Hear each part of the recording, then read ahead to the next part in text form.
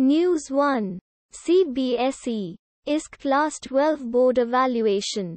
Supreme Court gives two weeks to present criteria. News 2.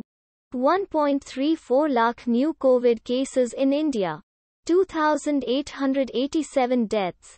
2.84 crore total cases. News 3. Pfizer. Moderna or now SII. Decoding the indemnity gamble or what it means for India. News 4. Supreme Court quashes sedition FIR against journalist Vinod Dua. News 5. Mehul Choksi denied bail by Dominica court in illegal entry case. News 6. WhatsApp forcing users to accept privacy policy. Center to Delhi HC. News 7.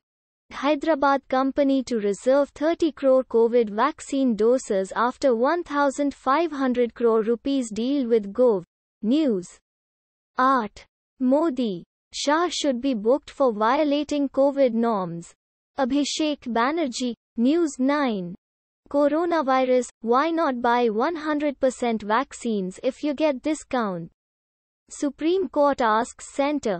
News 10. Junior Finance Minister rebuts P. Chidambaram over remarks on economy. Automatically generated.